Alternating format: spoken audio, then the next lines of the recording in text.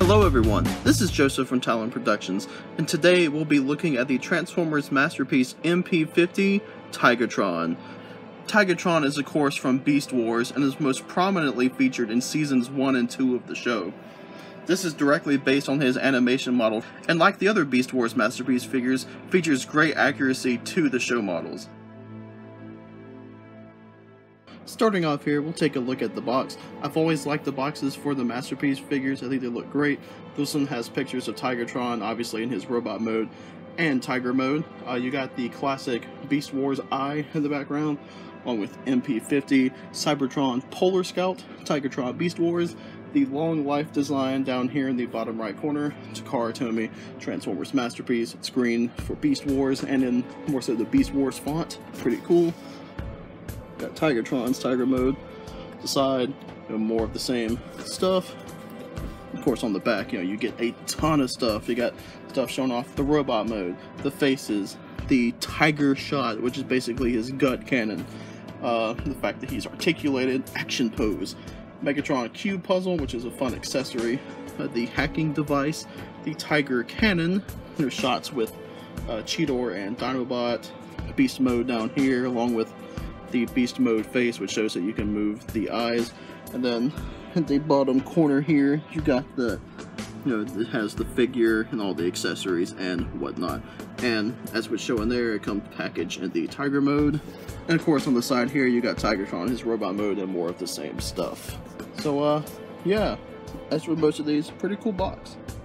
Since this is how he comes packaged, we'll be starting off with Tigatron in his Tiger mode. So uh, this guy is pretty big. He was a lot bigger than I thought he would be. And uh, he's got quite the chunk going on, which I love. Uh, he is mostly the sort of, um, it's hard for me to describe, sort of like an off-white color, you know, black stripes. He looks great. The accuracy is just, it's it's awesome in person. I love that this guy has the pixelated paint look to mimic the stretched texture look of the show. Alright, so a neat feature is that he is flight stand compatible. He comes with this clear piece that has two tabs on each side here that will plug into bottom here, here. Just kind of, of course, line them up, press in, you know, you hear the little snaps. Bam, you got it. You got the port here, and I'm using the stand that came with Black Arachnia. As far as I know, it also fits with the stand that came with Dinobot um, I haven't tried it with that one yet, so I don't know for sure. But you want to take it and just you know, slide it over. Alright, so Tigatron's on here. I don't have him in a specific pose, but he stays on there well. There's no uh, balance issues. I'm sure there would be depending on the pose, but otherwise everything works just fine. Next, we'll look at the articulation for this guide, and he has a good bit. You can get him into some pretty cool poses. Starting off with the head here. Of course, the mouth does open, feeling some nice detail there in the mouth. Uh, the eyes can move, it's only from side to side. You do that by opening the top of the head, and you can just move them there. They can be a bit annoying, and for beast mode, you're supposed to have them being green, because that's accurate to the show. Uh, you can look up pretty far, look down a little bit, left, right. He's got a good bit of range. Um, for the front legs, you can move these pretty much all the way around. Uh, this is more so for transformation, but they do move out about that far. Um, pin back that far, forward that far. Pause, can move back that far, forward this far, and Got a little bit of that swivel action going on. The back legs, they are a bit different. Let's see, got pretty much unlimited forward and back. Be careful with these, these like to move a good bit. Can't move this too much without sort of breaking, uh, you know, the sculpt, I guess you could say. This moves back, you know, up and down a little bit. Swivel. There's not too much going on with the back legs, but I think it's about what it needs to be. Tail, you can do a good bit with. Moves here at the base. It's got two pin joints here and one back here, and it can turn in one spot here. Then I believe there's one, yep, down here as well. Yeah, the tail is very well articulated. Alright, next we'll do some size comparisons with his fellow Beast Wars Masterpiece figures. First up is Cheetor, which you can tell Tigatron, as he should be, is a lot bigger than Cheetor. Yeah. I think they look really good together. Next up is Optimus Primal.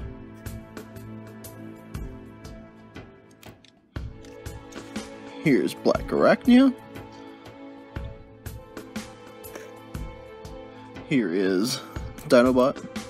Yes, it is a broken arm, unfortunately. Here he is with Beast Wars Megatron.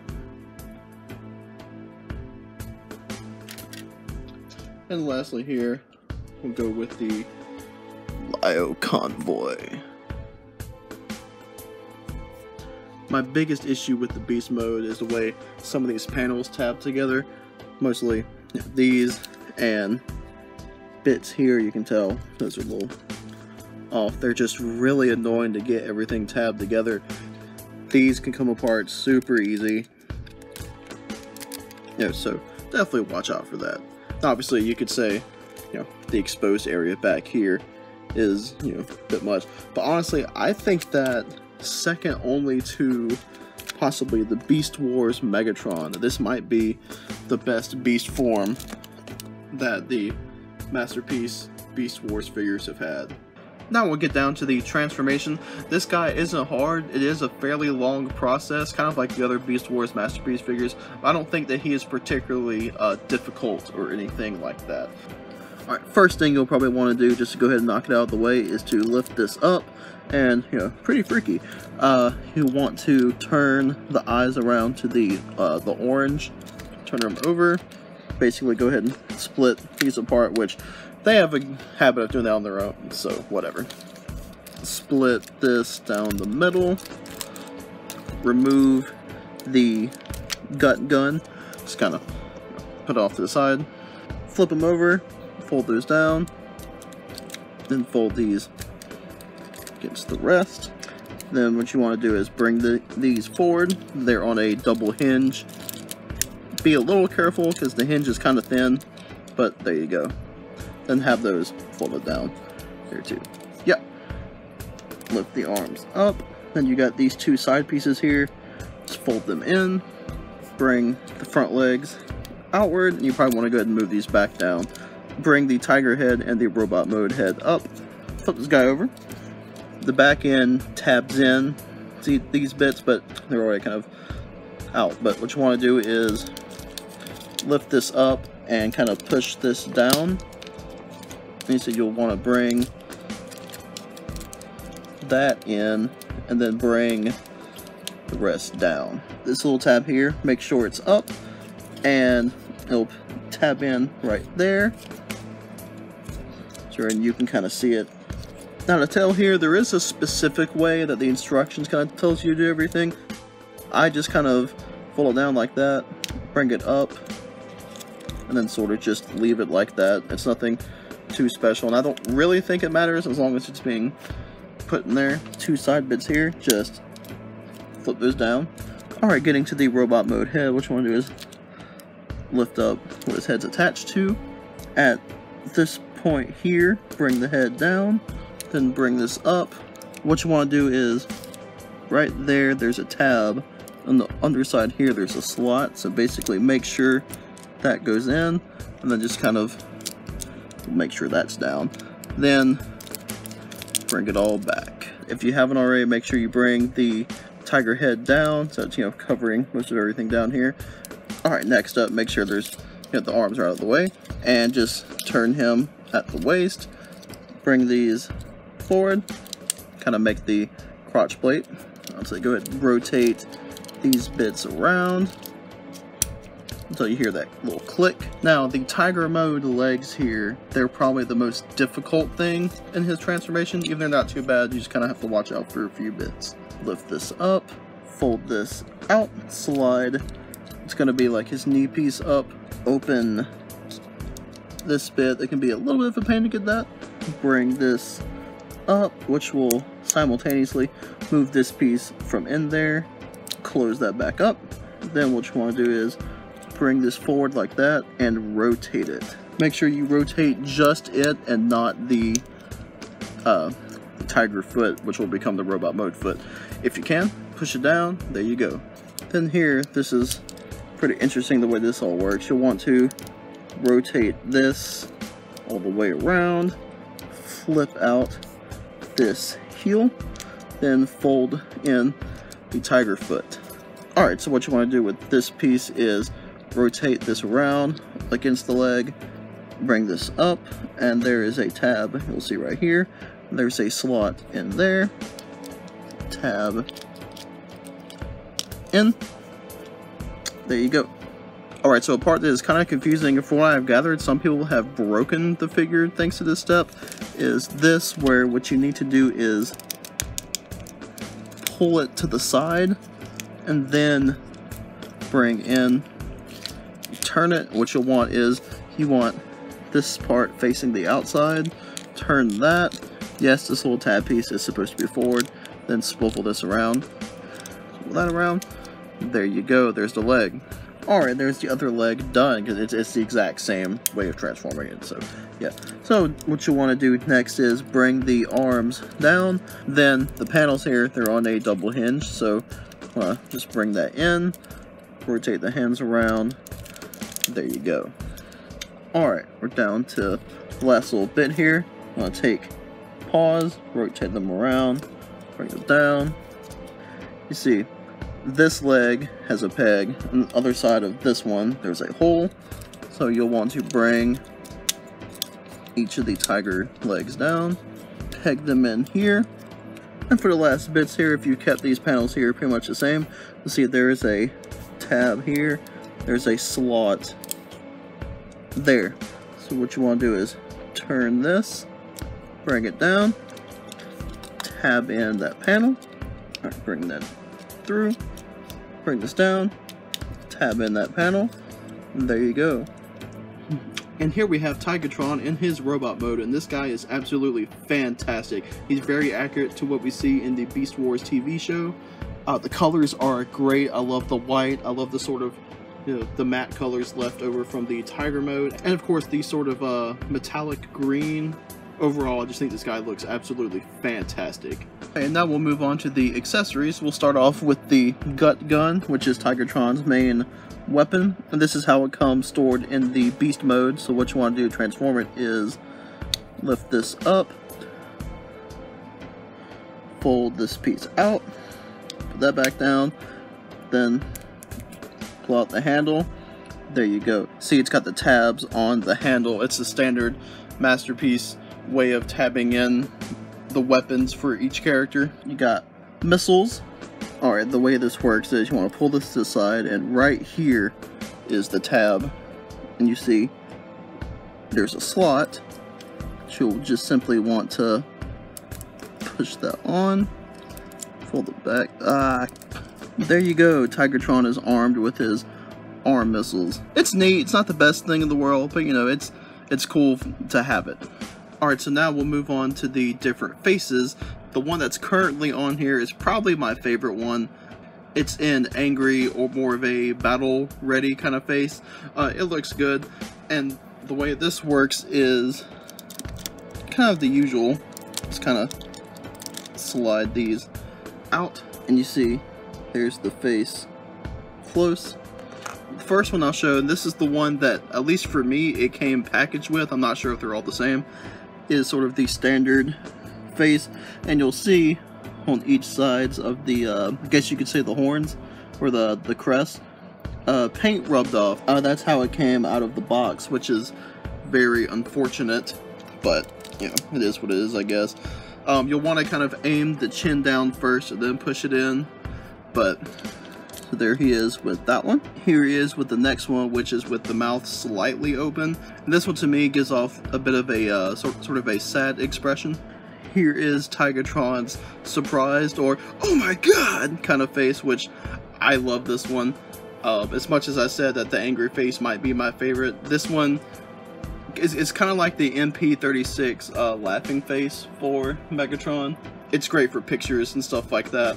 The angry face for Tigatron is probably my favorite for just the standard display, but this one's pretty fun. And last but not least, this is the standard face but with blue eyes, and that goes along with the next accessory, which, let me move this guy back, is this. This is a hacking device that he uses in the show.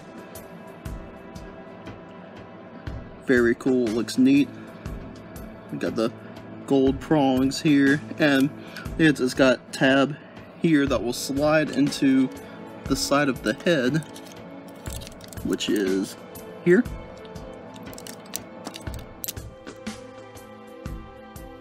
And so now he can hack into the Predacon's base. And to further go with that as well, you get a head of Beast Wars Megatron, which looks very cool. Love the eyes on it, looks great in the show, when he hacked into a console, he had to sort of solve a Rubik's Cube of sorts that is Megatron's head. And this can kind of do that. You got sides of the head here, which flip around. I wish there was maybe a bit more to it, but it's pretty neat for what it is. And of course, the last thing being what I brought up in the Beast Mode, flight stand. This guy does feature light piping. Uh, it's clear, see it right there, this big clear thing. And does shine through pretty well with the red eyes. You know, not much to it, but it's pretty neat. Alright, now we'll get to the articulation, starting from the top and working down. Tigatron, his head can go almost all the way around, just start kind of bumping into stuff, so you could do it, but not recommended, otherwise you'll possibly scratch some of the paint and whatnot. Oh, well that came on tab. Uh, he can look up decently far, you can kind of bring his head forward and you know, he can kind of get a bit of a, a downward look, which is cool. No head tilt really, which kind of sucks. Moving to the arms, go out that far. This moves down, which does help with articulation, which is good. It's got that butterfly motion, elbow bends that far. There's also a swivel right here. It can be a bit hard to engage just because the shoulder wants to move before anything else. So there's that. And obviously it's the same on each side with the arms. Same here with the hands where it moves in at the wrist, fingers open, and they swivel all the way around. And then the index finger is actually separate from everything else. Let's see, there. And no, this isn't something I filmed after the fact. I don't know what you're talking about. These panels can also move out of the way so it can help you with getting even more movement out of the arms and the hands. I want to point out he does have an ab crunch. The only thing is it can be a bit hard to engage just because uh, for both my copy and for a lot of people's the joint is pretty tight. So I'm not going to do it right now. I just don't, don't want to futz around with it, but he does have an ab crunch. Here you can turn the waist 360 legs go all the way out. It's pretty decent spread right there. Go up that far, they can go up a bit more if you turn it, just because of the way the, the crotch is. There's that bit of an angle. Goes back, swivel, right above the knee. Now at the knee area, there's some interesting things going on because you can see this sort of disengaging right here.